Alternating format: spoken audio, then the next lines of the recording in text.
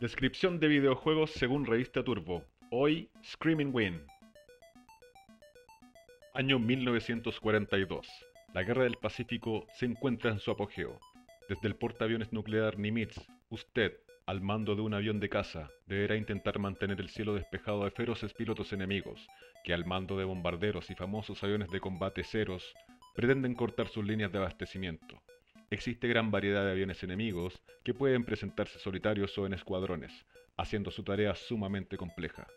Cada uno de dichos aviones otorga un puntaje diferente y precisan un número distinto de balas para ser destruido.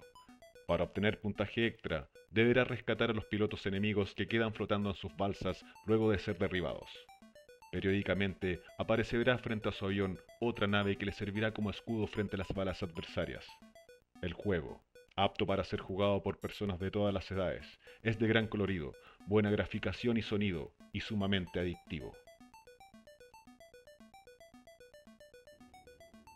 Sonido 6, graficación 6.2, adicción 6.5, presentación 6.3, promedio 6.25.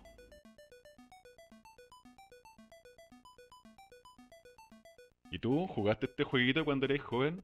Bueno, si te gusta el contenido, recuerda dar like, comentar y compartir el contenido. Te dejo un gran abrazo.